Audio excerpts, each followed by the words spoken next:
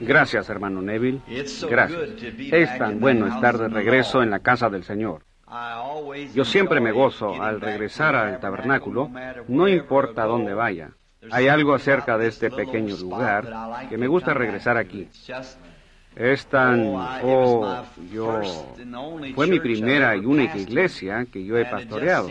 Y es agradable regresar otra vez aquí. Yo creo que en esa gran mañana, cuando el sol rehúse brillar y las estrellas desvanezcan su luz, yo creo que habrá algunos de este tabernáculo que estarán presentes ahí en ese día, que fueron lavados en la sangre del Cordero. Yo estoy esperando ese tiempo. Mientras yo venía pasando por el cuarto ahorita, yo me encontré con la hermana Argenbright, ahí atrás. Y ella me estaba diciendo que aquí había alguna gente que estuvo en las reuniones de Kingston, que estaba de visita en esa ocasión. Y yo estoy tan contento de tenerlos aquí como testimonio. Donde quiera que ellos estén, y ellos levantan sus manos, los que estuvieron en las reuniones de Kingston en Jamaica. Solo, sí, allá en la parte de atrás. Muy bien, eso está bien. Yo veo la tarjeta de Oral, me supongo que ya anunciaron sus reuniones. Yo no sabía las fechas hasta ayer. Yo creo que comienzan el día 6, ¿no es así? El 6 hasta el 15, el hermano Roberts estará en Louisville. Ahora vayan a oírlo. El hermano Roberts es un, un, íntimo amigo mío y un real siervo de Cristo. Y estoy seguro que ustedes se gozarán con sus mensajes noche tras noche. Y su, mientras él ora por los enfermos, estoy, estoy seguro que ustedes verán a Dios moverse. El hermano Roberts es un gran guerrero de la fe, un hombre a quien Dios está usando poderosamente. Y su ministerio ha escalado de...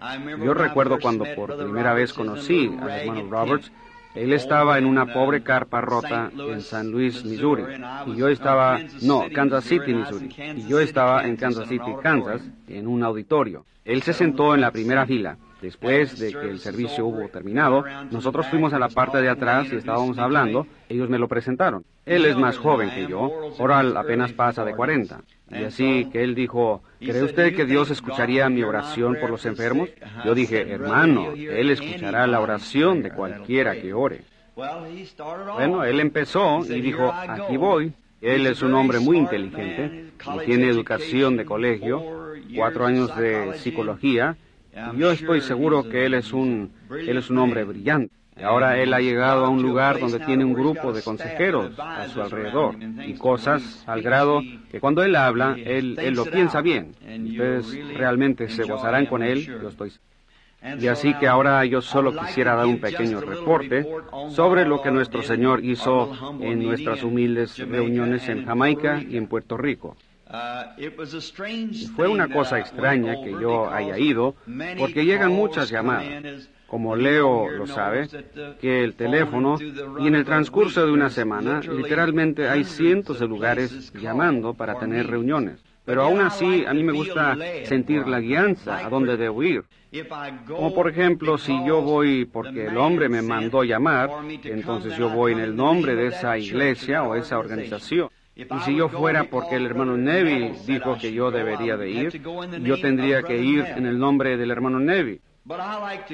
Pero yo quiero ir cuando Jesús me envía para que uno pueda ir en el nombre del Señor Jesús para encontrarse con el pueblo. Yo estaba recostado en la cama y había estado un poco cansado. Este valle, tarde o temprano yo tendré que dejar este valle, porque está destrozando mi garganta a tal grado que yo casi no puedo soportarlo. Yo puedo irme y regresar. Veníamos el otro día, Leo y yo, como a 40 millas. Después de haber estado en los pantanos de Florida, venía con la garganta sana y como a 40 millas de Louisville se me obstruyó de nuevo. El hermano Banks Wood debe estar aquí en algún lugar esta mañana y el otro día viniendo de Kingston Puerto Rico, donde mi garganta había estado perfecta, y yo me bajé del avión, todavía muy bien, y antes de que pudiéramos llegar a Jeffersonville, se me cerró otra vez. ¿Ven? Es este valle.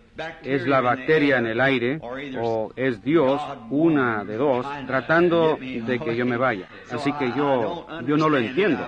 Yo he orado y he pedido muchas veces. Pero sin embargo, yo apenas me había levantado, eran como las tres en punto de la mañana, y mi esposa y mi niñito estaban dormidos. Yo me levanté por un lado de la cama y yo vi un gran número de gente que se había reunido en un lugar muy grande. Y yo le dije a Billy Paul, tú ve allí y dale a esa gente tarjetas de oración. Y él dijo, muy bien, papá.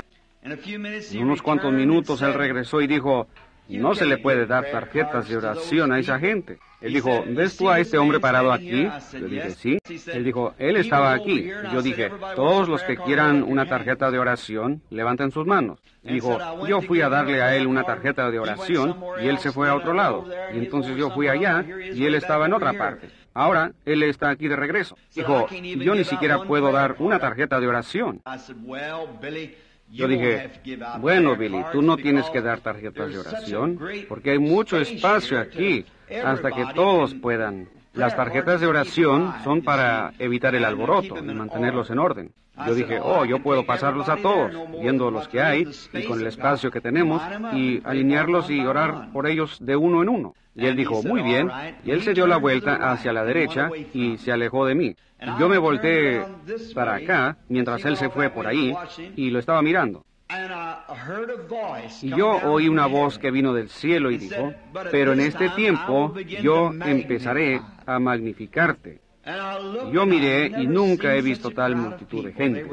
Ellos estaban llegando de todos lados. Y el nombre del hermano Roberts fue mencionado. Dijo, ahora el hermano Oral Roberts vendrá a verte a ti. Y yo dije, ¿cómo debería yo de saludar al hermano Roberts? Dijo, de la misma manera que él te salude a ti. Bueno, yo vi venir al hermano Roberts con un traje negro y un sombrerito como el que se pone Bing Crosby, esos que tienen una parte levantada y la otra hacia abajo, un sombrerito negro. Y yo estaba parado un poco más alto y él miró hacia arriba y dijo, hola hermano Branham. Y yo dije, hola hermano Roberts. Le di la mano.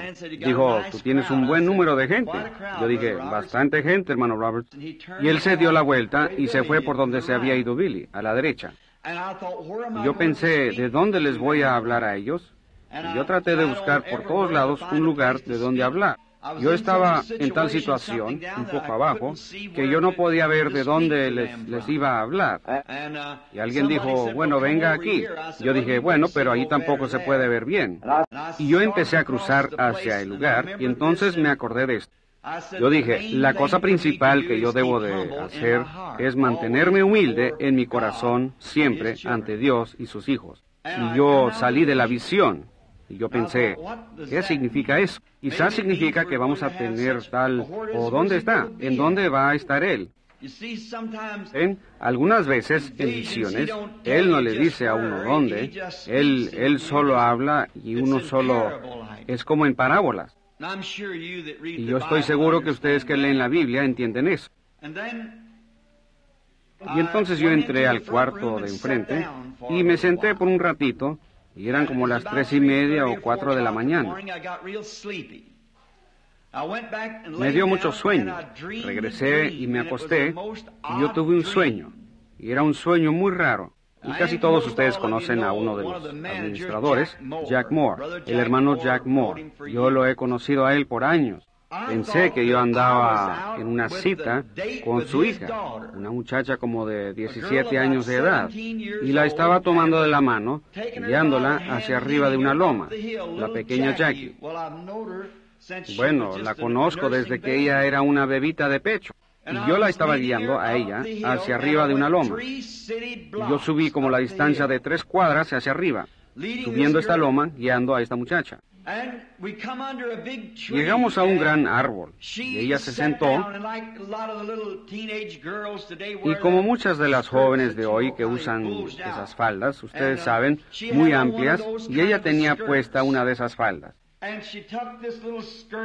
Y ella tomó su falda y la extendió y se sentó. Y como los jóvenes que se miran el uno al otro, ella juntó sus manos así y empezó a mirar arriba hacia el cielo. Bueno, Jackie es una muchachita muy fina, pero ella tiene una boca grande y unos grandes ojos y su pelo es como color de arena. No es muy atractiva, pero es una verdadera damita. Y yo podía ver sus ojos grandes mientras ella miraba hacia los cielos y cómo la reflexión de los cielos estaba en sus ojos. Bien, yo me retiré como a cinco pies de ella y me acosté de lado de esta manera y tomé una paja y me la puse en la boca y empecé a masticar esa paja. Y empecé a pensar, ¿qué estoy haciendo aquí arriba? Pues yo siendo un hombre viejo y con esta jovencita, pues dije, yo estoy casado y tengo un montón de niños y no tengo ningún negocio aquí arriba con esta joven. Y yo me empecé a levantar y cuando lo hice, una voz vino del árbol y dijo, esto es como señal y por una razón. Y yo desperté y casi grité, una, una pesadilla. Pensé, oh, me pregunto si eso significa que yo voy a caer o que algo me va a suceder a mí. Bueno, pensé, si yo trato de usar mi propia mente, entonces voy a enredar todo. Así que yo solo voy a esperar en Dios. Yo empecé a orar. Yo dije, Señor, ¿tiene algo que ver el sueño con la visión que tuve al principio de la noche? ¿O qué significa eso? Después de haber esperado por algún tiempo, quizás una hora, mi esposa ya estaba levantada y tenía listo el desayuno.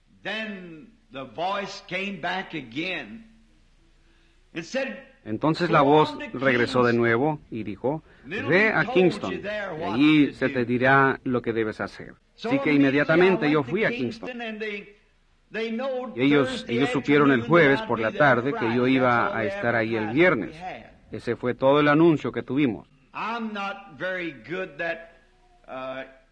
Yo no soy muy bueno para hacer o para calcular las multitudes, porque generalmente yo exagero mucho en eso.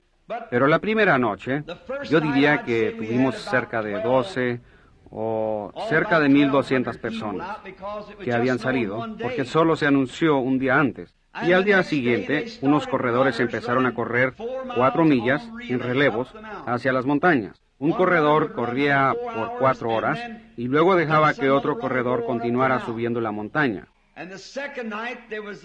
Y la segunda noche había como cinco mil. Y la tercera noche se estimó una cantidad de alrededor de quince mil, quizás veinte. Y hubo miles de miles que vinieron al Señor.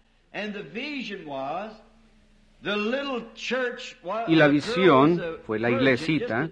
La muchacha era una virgen, solo una jovencita. Y eso significaba la virginidad de la iglesia. Y las tres cuadras de la ciudad subiendo la loma eran los tres días que yo ministraría.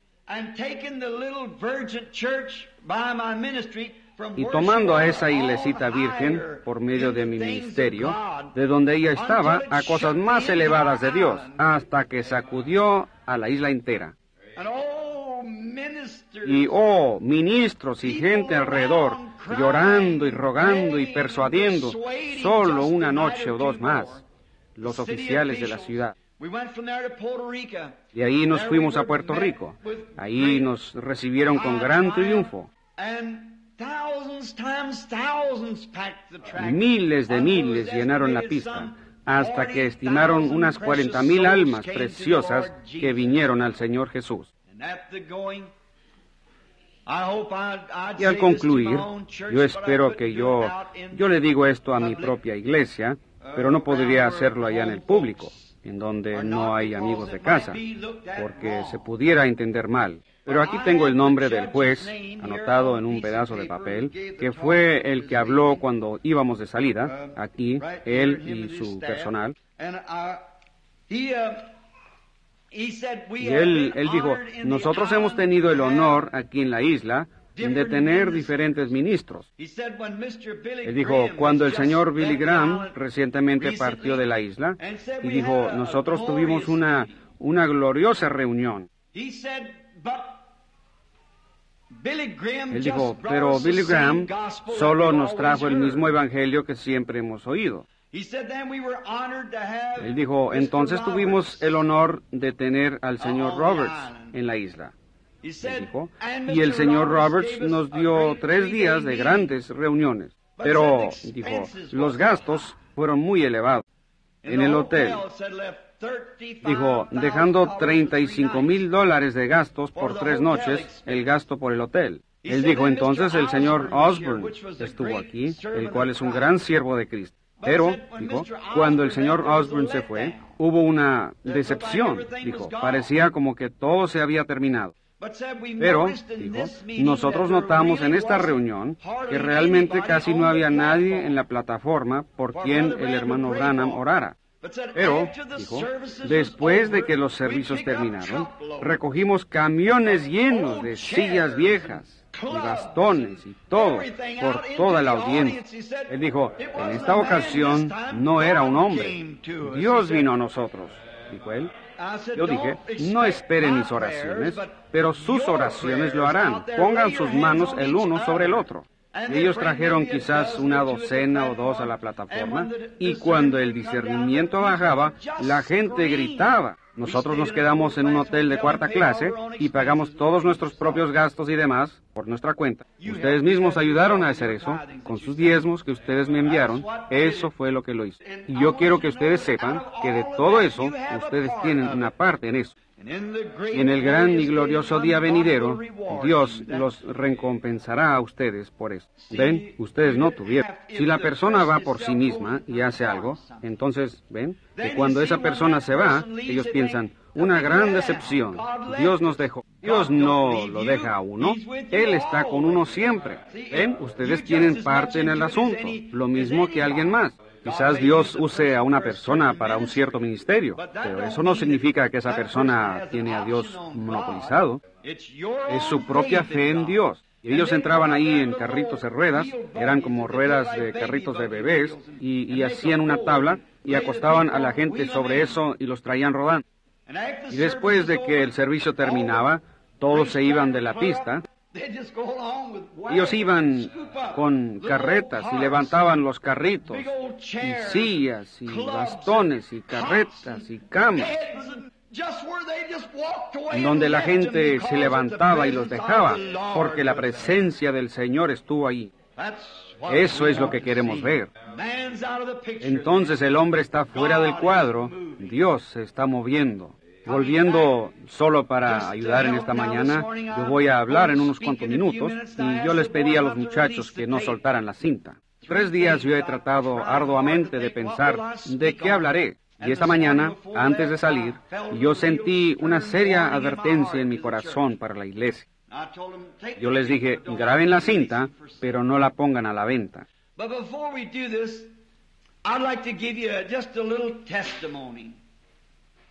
Pero antes de que hagamos esto, me gustaría darles un pequeño testimonio que pudiera beneficiarles. A mí me benefició. Nosotros fuimos en un viaje de pesca por tres días. Leo y Jean y yo y mi hijo Billy Paul y su esposa. Con un amigo que viene aquí al tabernáculo de allá de Georgia. Y ellos nos llevaron a un pantano, por ahora yo no sé dónde era, cerca de Okeechobee o algo así. Yo no sé el nombre que los indios seminoles le pusieron, pero sin embargo estábamos muchas millas adentro. Y el hermano Evans, su hermano es un pecador, y él es un gran pescador, y él había estado en los pantanos hace unos cuantos meses. Y ellos tienen allá lo que llaman cascabel terrestre. Y la cascabel terrestre lo mordió y él apenas vivió. Su pantorrilla se le hinchó y lo llevaron con los doctores y le pusieron inyecciones. Esas cosas son mortales. Y ellos también tienen muchas mocasines de agua allá. Mocasines de agua. Mocasines. Cocodrilos que miden hasta 20 pies. Y mientras estábamos pescando allí, yo había pescado un gran róbalo. Oh, fue un día de, de, descanso. Y él era tan grande que yo no podía sacarlo del agua. Y él enderezó el anzuelo y se fue, o él mismo se zafó. Pescamos muchos róbalos, como 140 libras de róbalo. Y ellos, algunos de ellos pesaban varias libras, y de 4 a 7 hasta 8 libras. Yo pesqué a este grande y él se soltó. Y yo tiré de nuevo y yo, yo pesqué otro, como de 6, 7 libras. Y yo tenía una caña larga que tenía que mantenerla arriba de los lirios. El hermano Evans había, nosotros estábamos todos mojados por andar en el agua, porque solo son pantanos. Y él se había quitado sus zapatos y se había enrollado sus pantalones y estaba sentado sobre un lugarcito seco, queriendo secar su... Y él vio a este enorme pez revolcándose entre las matas y yo caminaba entre el agua hacia él. Él dijo, espere un minuto, hermano Brana, yo se lo agarraré. Y él corrió hacia allá y yo lo había jalado, pensando que el pez estaba ya para morirse, tirado allí entre las matas. Y él corrió para levantarlo. Y cuando lo hizo, él gritó y se regresó. Una cascabel lo mordió. Y nosotros lo miramos y ahí tenía los hoyos de los colmillos en su pie donde esa cascabel lo había mordido. Y le estaba doliendo tanto que tenía lágrimas en sus ojos. Dijo que sentía como que sus huesos se le estaban paralizando. Y allá estábamos, a muchas millas dentro del pantano. Él es un hombre grande para tener que cargarlo. Y cuando una víbora lo muerde, uno se pone tan enfermo en unos pocos minutos que casi está al borde de la muerte. Y Leo estaba parado ahí. Y algo vino a mi mente. ¿Tú todavía eres Dios? Cuando él estaba sosteniendo su pie y agarrándoselo, y ahí tenía esos dos hoyos donde la cascabel lo había mordido, yo puse mis manos en ese lugar y dije, Señor, está escrito en tu palabra. Hollarán cabezas de serpientes y escorpiones y nada les podrá dañar en ninguna manera. Y en ese mismo instante, todo dolor se fue de su pie. Se puso sus zapatos y pescó todo el día. Llegó esa noche y les contó lo que pasó. Ellos dijeron, es mejor que tú vayas con el doctor. Él dijo, si Dios me ha protegido hasta aquí, Él tendrá cuidado de mí en lo que resta del camino. Nosotros pescamos tres días, no tuvo ningún mal efecto. Dios todavía es Dios, Él cumple toda promesa. Y de todo mi ministerio, esa fue la primera vez que yo he visto a Dios venir por causa de una mordedura de víbora, debido a que fue la primera vez que yo he tenido la oportunidad de orar por alguien que haya sido mordido por una víbora. Eso solo es para hacernos saber que Él cumple todas sus promesas y sus palabras son buenas y verdaderas. Amén. Recuerden los servicios de esta noche y del miércoles. Y ahora oren por alguien que verdaderamente necesita la oración. Ese soy yo. Y recuerden, atiendan a la reunión del hermano Roberts cuando venga a la ciudad y salúdenlo de parte del tabernáculo.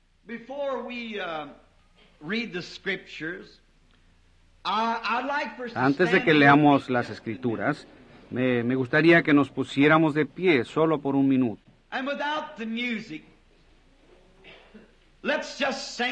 Y sin la música, cantemos un coro o dos de este glorioso himno antiguo de la iglesia, Mi fe espera en ti. Muy bien, todos únanse conmigo ahora y cantémoslo. Y no piense de cómo usted lo está cantando, solo cántelo para la gloria de Dios. ¿Puede dirigir en esto, hermano Neville?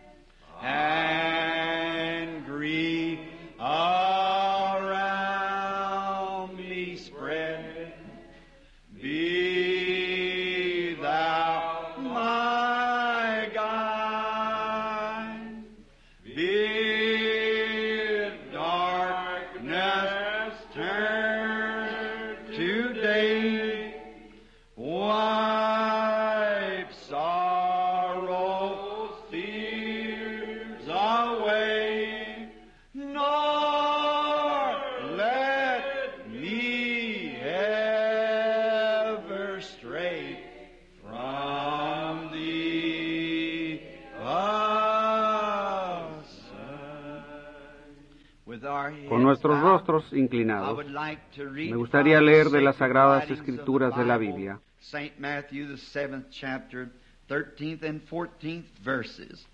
And may the Lord add his rich blessings as we read it. San Mateo, el capítulo 7, versículos 13 y 14. Y que el Señor añada sus ricas bendiciones mientras nosotros la leemos. Entrad por la puerta estrecha, porque ancha es la puerta y espacioso el camino que lleva a la perdición, y muchos son los que entran por ella.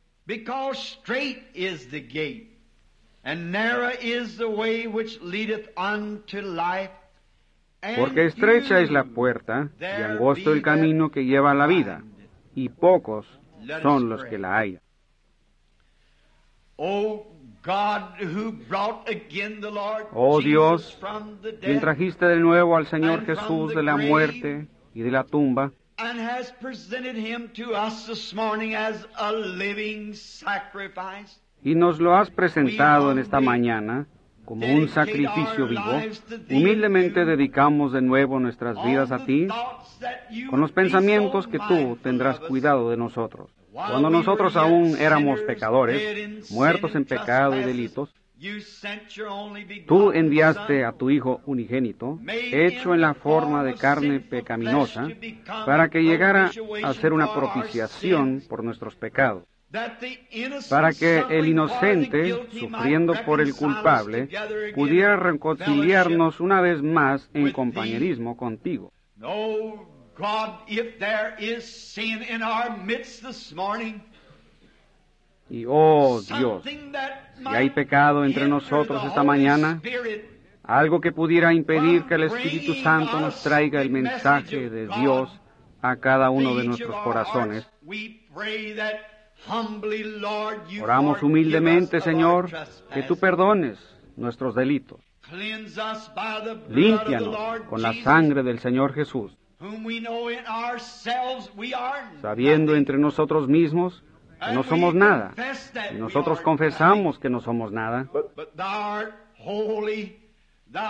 Tú eres santo, tú eres verdadero, tú eres justicia, tú eres la misma fuente de misericordia. Y hoy humildemente venimos de rodillas como almas penitentes. Como hemos dado el testimonio de Jamaica y de Puerto Rico, y donde tú has obrado tan grandes obras. Oh Dios, es la señal de la venida del ser justo. Como tú libraste al hermano Evans de los colmillos venenosos de esa serpiente, porque él era un creyente y tus palabras siempre son verdaderas.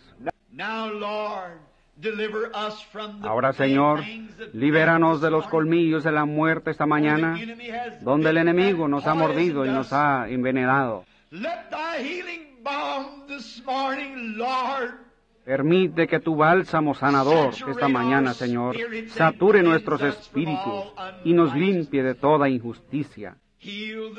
Sana la enfermedad de los cuerpos físicos que han sido quebrantados por los poderes del enemigo.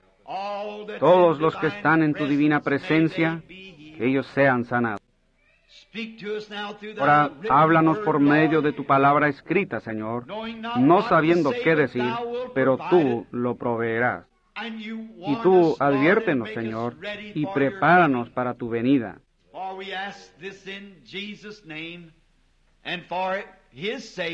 Porque pedimos esto en el nombre de Jesús y por su causa.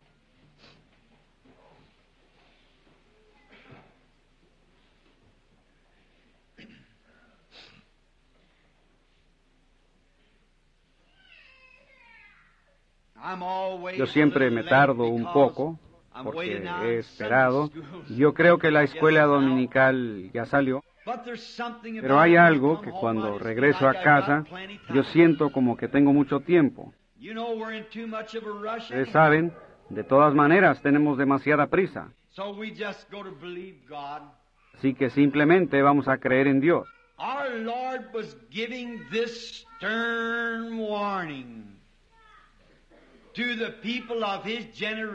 Nuestro Señor estaba dando esta seria advertencia a la gente de su generación, a la gente que era muy religiosa.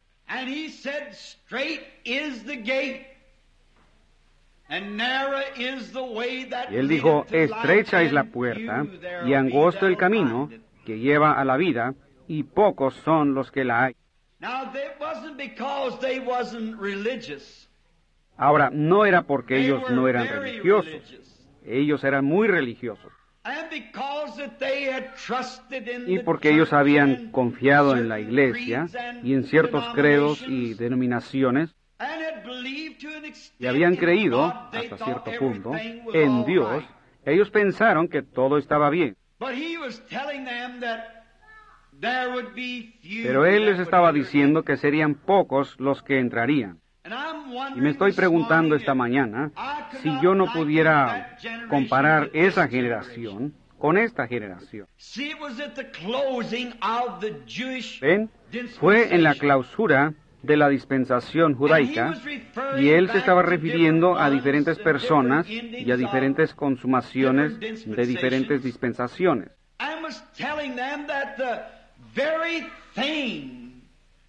Y les estaba diciendo que la misma cosa que habían hecho en dispensaciones pasadas se estaba repitiendo ante ellos.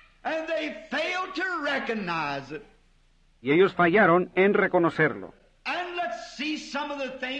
Y veamos algunas de las cosas de las cuales él estaba hablando. Por ejemplo, ellos no podían creer que Dios estaba en ese hombre.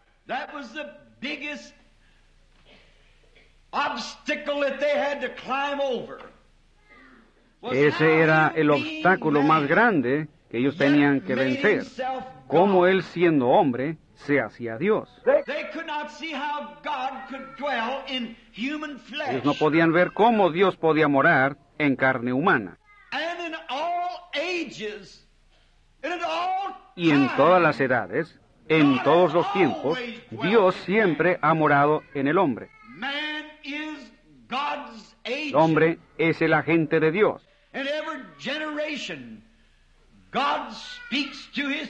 En toda generación, Dios habla a su pueblo por medio de labios humanos. Él siempre escoge a alguien o algo que Él pueda usar. Y Él les habló como siendo un gran tropiezo acerca de Abraham.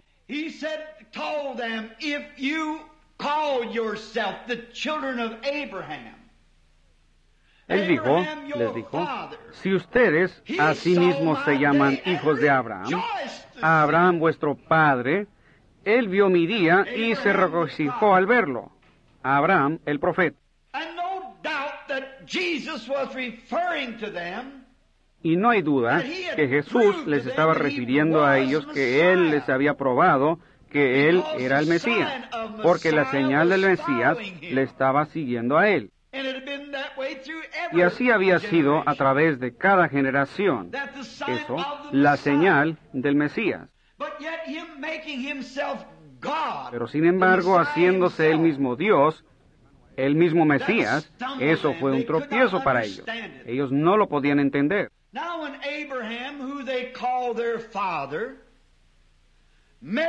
A quien ellos llamaban su padre, se encontró con Dios, este también estuvo en carne. Porque él comió la carne de un becerro, comió pan de maíz y tomó leche y mantequilla en la presencia de Abraham y sin embargo él era Dios. Dios, Dios, y lo llamó Elohim, que es Jehová Todopoderoso.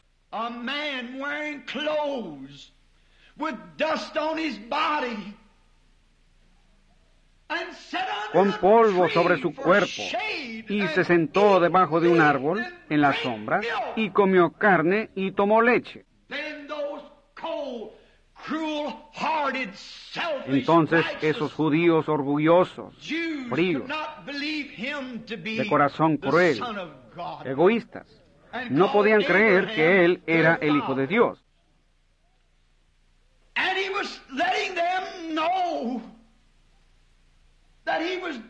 Y Él les estaba haciendo saber que él estaba haciendo las mismas cosas en su carne que las que Dios hizo en otra carne cuando él se encontró con su padre Abraham. Y Abraham lo creyó y ellos no lo podían creer.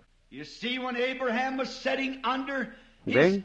Cuando Abraham estaba sentado en su tienda, porque él había escogido, y esa opción es presentada ante cada persona que es nacida en este el árbol del bien y del mal es colocado delante de toda persona. Y cuando Lot, su sobrino, y sus pastores empezaron a discutir acerca de los terrenos, Abraham, siendo un hombre justo, les dijo a ellos, que no haya discusiones entre nosotros. Ustedes solo escojan su camino. Eso llega a la vida de cada creyente. Eso está delante de ustedes en esta mañana y está delante de mí. Lot no pensaba que él iba a caer, pero él empezó a mirar hacia Sodoma, donde las cosas eran fáciles. Y hay muchas ocasiones cuando nosotros miramos hacia la vía más fácil. Yo me uniré a esta cierta, cierta iglesia. Y ven, nadie dirá nada en contra de eso, porque es la iglesia más grande de la ciudad. La vía fácil. Muchas veces nosotros hacemos eso cuando estamos mal.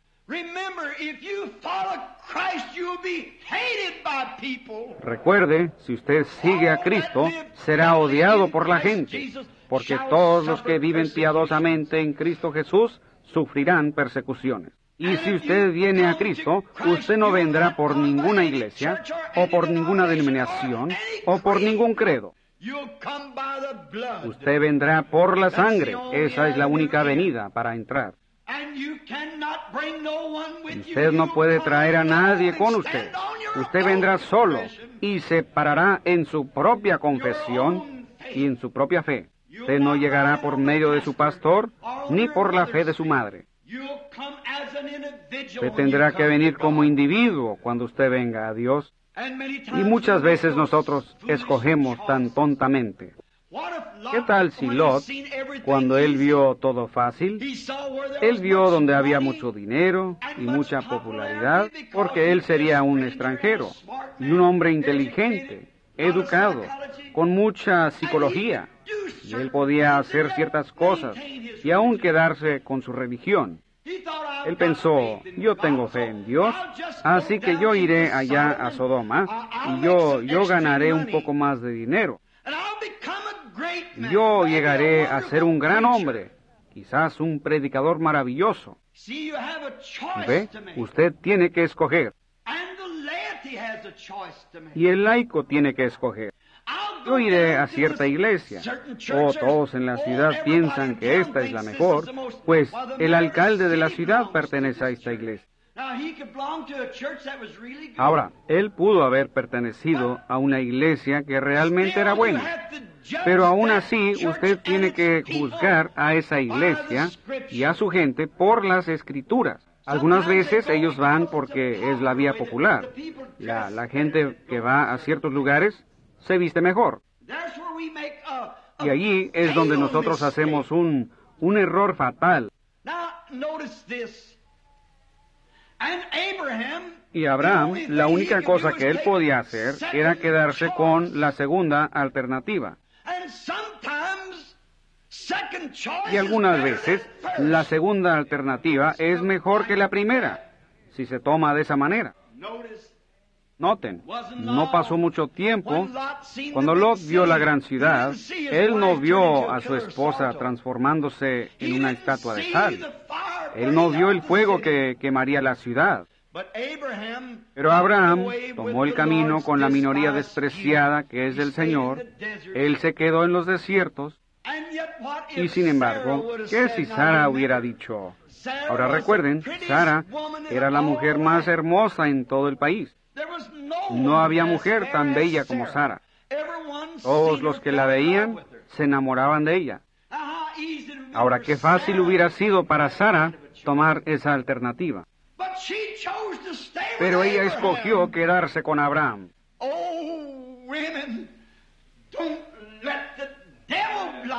Oh, mujeres, no permitan que el diablo las ciegue por popularidad y por unirse a esto y aquello. Quédense con Cristo. Porque la hora está a la mano. Grandes destrucciones están por delante, peores que Sodoma y Gomorra para este país. Sodoma y Gomorra estarían mejor en comparación. Ahora, mientras que Abraham había tomado la parte que Dios le había dado y había adquirido lo más pobre de la tierra, él no fue próspero en lo absoluto. Pero sin embargo, él sabía una cosa. Él servía a Dios y creía a Dios. Así que un día ahí venían tres hombres, y ellos venían llenos de polvo y fatigados, y Abraham sintió compasión por ellos. Él dijo, vengan y siéntense debajo del roble por un rato.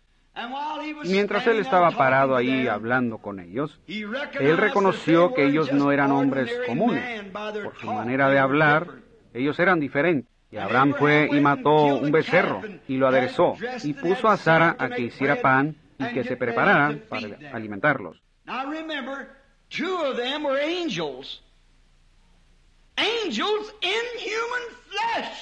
Ahora recuerden, dos de ellos eran ángeles, ángeles en carne humana, y uno de ellos era Dios mismo. Y el que era Dios tenía su espalda hacia la tienda. Y Sara se quedó en la tienda. Me gusta ver a una mujer que guarda su lugar así. No una que va y le dice a su esposo lo que debe de hacer cada vez que alguien lo visita. Pero ella se quedó en la tienda. No hay duda que quizás estaba lavando los platos o haciendo algo. Y este que era Dios, él se mantenía mirando hacia Sodoma. Y él les dijo a ellos lo que él iba a hacer. Y dos ángeles fueron allá a predicar el Evangelio. Pero uno se quedó atrás. Ese era el que era Dios. Y él dijo, yo no voy a ocultarle a Abraham los secretos que yo sé, porque él va a ser el heredero del mundo. Oh, iglesia, en esta mañana tenemos el derecho de saber los secretos de la venida del Señor. Bienaventurados los pacificadores, porque ellos serán llamados hijos de Dios. Bienaventurados los que tienen hambre y sed, porque ellos serán saciados. Bienaventurados los de limpio corazón, porque ellos verán a Dios. Bienaventurados los mansos, porque ellos recibirán la tierra por heredad. Entonces, si la iglesia del Dios viviente ha de heredar la tierra, no hay secretos ocultos para ella. Todo lo que el Padre me ha dicho, yo se los he dicho, dijo Jesús. Y ellos no le podían creer. Entonces, en los días de Abraham, mientras él se refería a ellos, él dijo que como Abraham hablaba con el ángel y su espalda estaba volteada hacia la tienda, y le dijo a Abraham que lo iba a visitar con un hijo, y Sara se rió en la tienda. Y él dijo, ¿por qué se rió Sara? ¿Qué estaba mostrando? ¿Por qué se rió Sara? Solo fue unas cuantas horas antes de la destrucción cuando eso sucedió. Un poco antes de la destrucción, aquel fuego vino de los cielos y quemó la ciudad, y esa señal fue hecha. Jesús dijo, vosotros erráis a los grandes doctores de divinidad, a una nación religiosa donde literalmente millones eran creyentes. Él dijo, vosotros erráis, no conociendo la escritura ni el poder de Dios. Una generación así, que eran hombres bien entrenados, que eran eruditos y eran criados en la iglesia.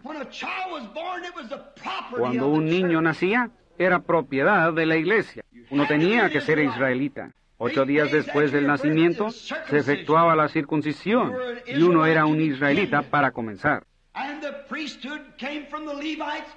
Y el sacerdocio vino por los levitas, los cuales fueron entrenados en las escrituras a través de cientos de años. Sin embargo, Jesús dijo, vosotros erráis no conociendo las escrituras. Ellos las conocían en su propio libro de aprendizaje.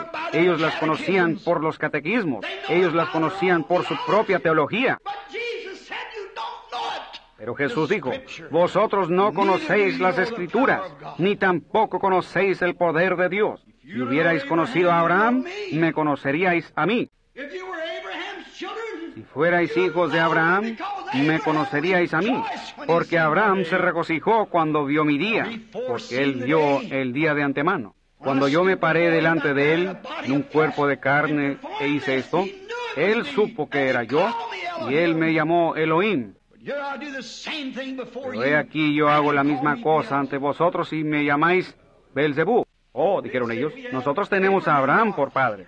¿Llamáis a Abraham padre? Él dijo, pues nosotros, nosotros pertenecemos a la iglesia, nosotros somos una nación religiosa, nosotros somos un gran pueblo, nosotros somos el pueblo de Dios.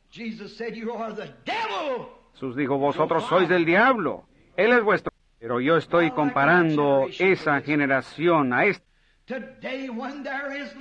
Hoy, cuando literalmente hay millones de personas que profesan cristianismo y no conocen más de Dios que un jotentote conocería de una noche egipcia. Hay hombres y mujeres hoy, literalmente millones de cristianos profesantes que reclaman a Cristo. No saben ni el primer principio del poder de su resurrección y nunca han probado de su bondad. Ellos nunca han sentido su poder. Sus ojos están cegados a la verdad. Dijo, ustedes están ciegos y guían a los ciegos. ¿No es cierto que si un ciego guía a otro ciego, ambos caerán en el hoyo? Entonces ellos pensaron, nosotros somos cristianos, nosotros somos creyentes, nosotros pertenecemos a las iglesias más grandes que hay, nuestros rabinos son los escolares mejor entrenados que hay. Y aún así Jesús les dijo que ellos ni siquiera conocían las escrituras. ¿Ven cómo Dios lo ha escondido de los ojos de los sabios y prudentes y se lo ha revelado a los niños que quieran aprender? Oh, el gran poder y la infinidad de Dios. Qué bueno es Él con aquellos que desean caminar rectamente delante de Él. Él no les negará ninguna cosa buena ver el día en que nuestra nación, nuestro mundo, está corrompido con la misma cosa. Jesús quería enderezarlos correctamente. Ellos dijeron, oh, Abraham es nuestro padre, y nosotros estaremos en gloria. No se preocupe usted por eso, porque nosotros creemos en Dios. Nosotros somos profesores y nosotros creemos en Dios y nosotros enseñamos a nuestro pueblo. ¿Quién eres tú para que vengas aquí con una, una pequeña señal misteriosa y trates de llamarla Dios?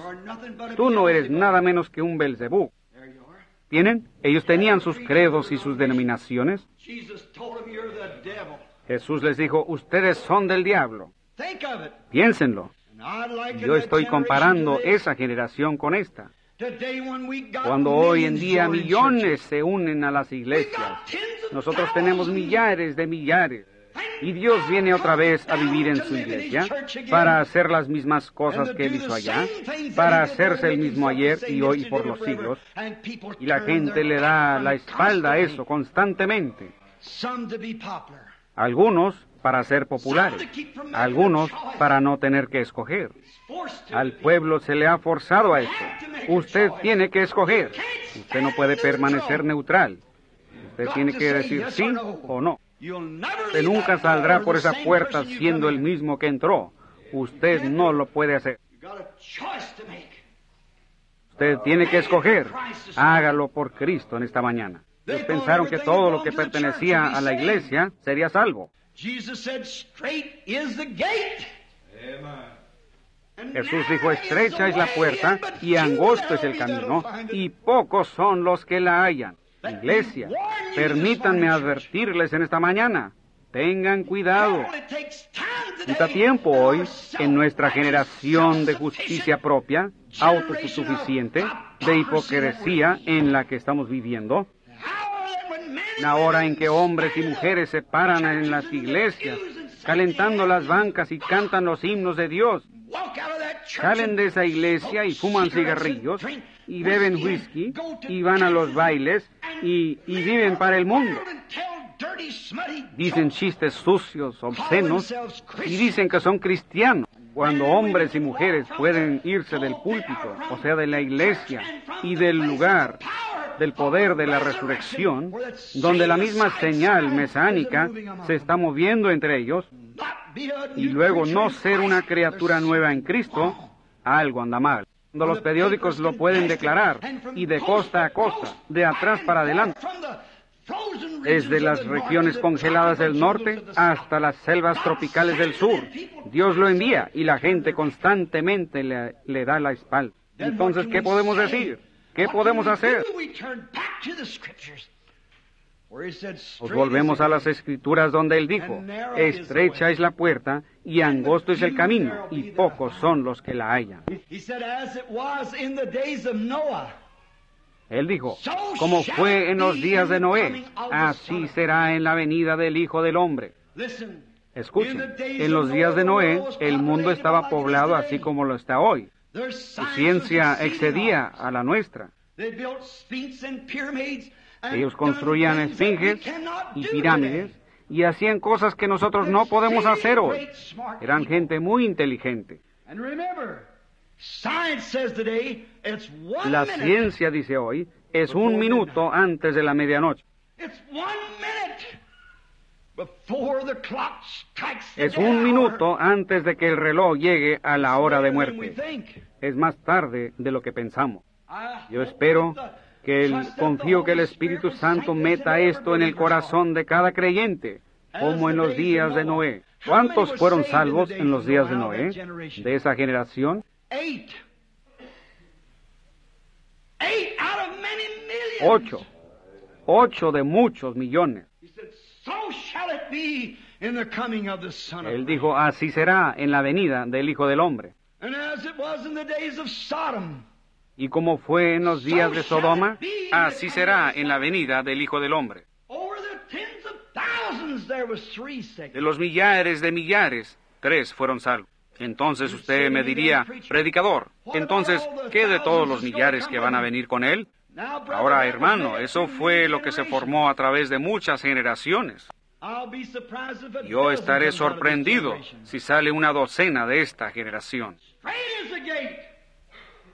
Estrecha es la puerta y angosto es el camino, y pocos son los que la hallan. Oh, yo sé lo que dicen las iglesias. Si usted pone su nombre en el libro y usted llega a ser miembro de esto, usted está bien.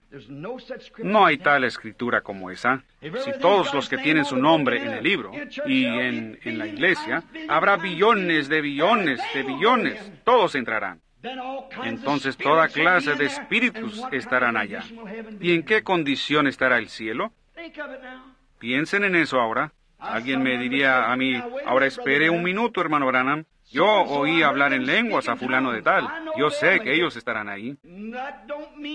Eso no significa en lo absoluto que ellos estarán ahí.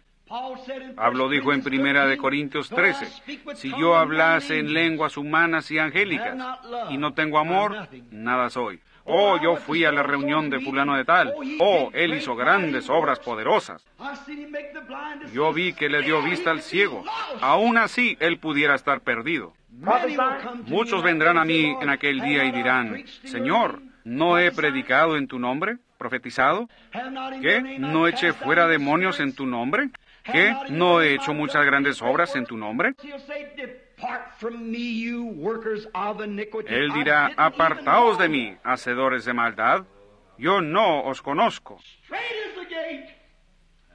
Estrecha es la puerta y angosto es el camino, pero pocos son los que la hallan.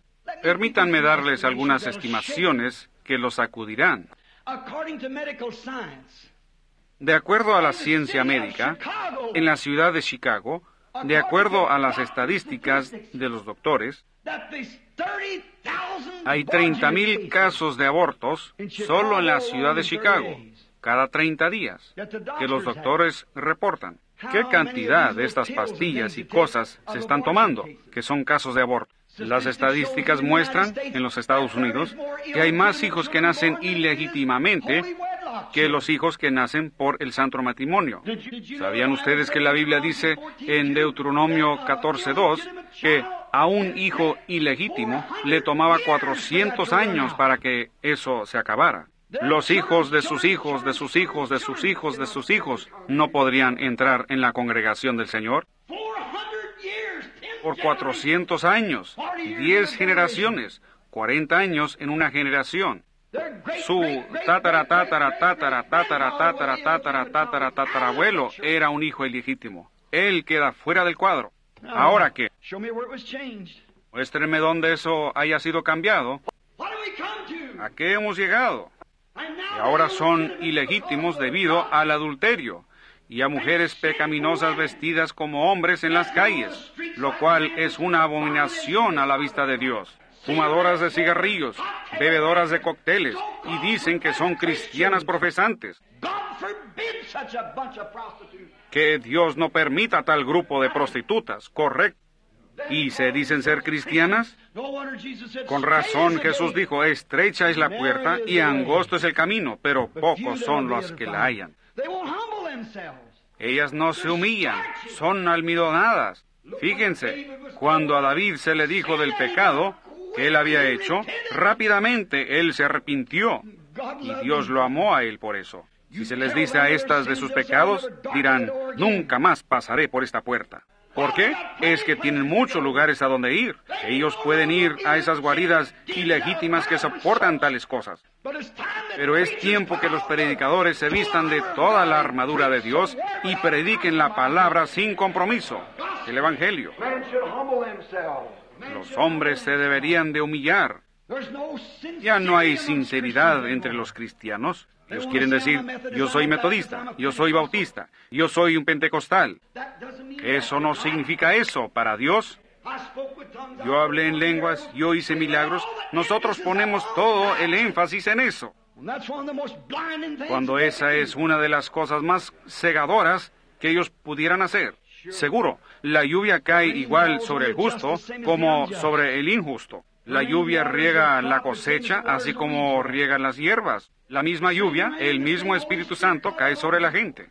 Eso aún no significa. Su naturaleza tiene que ser diferente, desde adentro hacia afuera. No una manifestación o demostración exterior, pero el espíritu interior del Dios vivo que hace a esa persona una nueva criatura que humilla su corazón ante Dios. Usted dice, predicador, ¿usted quiere decirme que usted duda que habrá una docena de estos millones y cuatro billones de gente que hay en el mundo? Yo dudo que va a haber una docena que subirá en el rapto. Piénselo. Yo les estoy diciendo lo que Jesús dijo aquí en el Evangelio. ¿A qué ha llegado? Debido a la inmoralidad que entró entre la gente, empezaron a nacer hijos ilegítimos. Eso los borró del cuadro. Pudiéramos quedarnos aquí por horas colocando esas cosas. Ustedes pueden ver que estamos viviendo en una generación de gente corrompida, condenada, podrida hasta, hasta el tuétano. Con razón ellos no pueden ver ninguna señal. Con razón ellos no le ponen atención al Evangelio. Ellos están endurecidos, pero aún así son tan religiosos y piadosos. ¿No dijo Jesús que el Espíritu habla expresamente que en los últimos días ellos serían impetuosos, infatuados, amadores de los deleites más que de Dios? Implacables, intemperantes, crueles y aborrecedores de lo bueno, que tendrán apariencia de piedad. ¿Ven? Oh, usted puede gritar, seguro. Usted puede hablar en lenguas, seguro. La fe echará fuera demonios, seguro. Pero nosotros no estamos hablando de eso. Entonces usted me diría, hermano Branham, ¿cuál es la marca de un cristiano? ¿Quién será salvo? ¿Usted, hermano Branham? En eso estoy confiando en Dios. Yo no sé. Yo estoy creyendo que lo soy. Yo estoy comparando mi vida diariamente con la palabra. Y si no cuadra con esta palabra, entonces hay algo malo. Tengo que regresar y arreglarlo. Bueno, dirá usted, hermano Branham, cuando la gente habla en lenguas, ¿no significa eso que ellos son salvos? No, señor. No, de ninguna manera. Yo he escuchado a brujas y a brujos hablar en lenguas, toda clase de tonterías. Yo he visto gente hablar en lenguas y vivir con la mujer de otro hombre. Yo he visto gente que habla en lenguas y que brinca de arriba para abajo y que grita como que la casa está en fuego y va y hace negocios ilícitos y roba, dice mentiras y demás. ¿Cómo puede usted esperar algo de eso? No, señor. Pertenecen a la iglesia, son diáconos en la iglesia, tan piadosos como pueden serlo. Pues, ¿cree usted que ellos comprarían gasolina el día domingo? No. Pero el lunes hacen algo que es sucio y corrupto y bajo.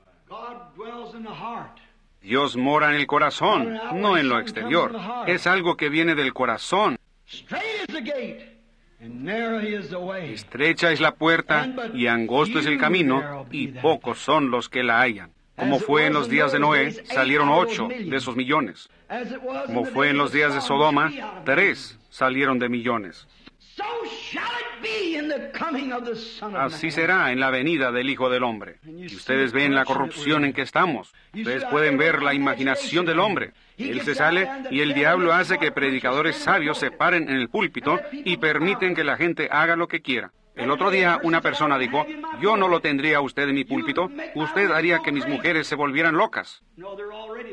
No, ellas ya están así. Yo las traería a su mente cabal. Al decirles que paren de vestirse con esas ropas y cosas, y bueno, alguien tiene que hacerlo. Yo le dije a mi esposa, ¿me he vuelto loco yo mismo? ¿Estoy loco? Pero ¿qué es lo que pasa conmigo? Hay algo aquí adentro que no se puede quedar quieto. Yo tengo que decirlo. A mí no me importa lo que alguien más diga. Dicen, usted va a arruinar su ministerio. Bueno, todo ministerio que el Evangelio puede arruinar debería de ser arruinado. Dios nos dé valor para pararnos por lo que es verdad y decir la verdad acerca de ello. Es un pecado, una desgracia. Estrecha es la puerta, dijo Jesús, y angosto es el camino. Y ustedes que piensan de millones, y todos ustedes metodistas, bautistas, presbiterianos, pentecostales entrando, ustedes serán engañados en aquel día, dijo Jesús. Muchos vendrán y se sentarán en el reino, dirán, yo tengo derecho de estar aquí. Él dijo, pero los hijos del reino los echarán fuera. Ahí será el lloro y el llanto y el crujir de dientes. Es mejor que tome inventario en esta mañana, cristiano. Habrá millones de billones de cristianos profesantes y leales en su vida que no encontrarán la puerta. Así lo dijo Jesús. ¿Cuántos van a entrar? Yo no sé cuántos se irán. La única cosa es, Dios, déjame ser uno de ellos. Eso es. Él es el juez. Déjame ser uno. Usted dice, hermano Branham, entonces ¿cómo puede uno saber cuándo uno es cristiano? Yo no sé, pero déjeme decirle lo que dice la Escritura. Seguramente usted cree eso. Cuando el Espíritu Santo fue enviado a la tierra, Dios habló por medio del Espíritu Santo. Primero, Él envió un ángel.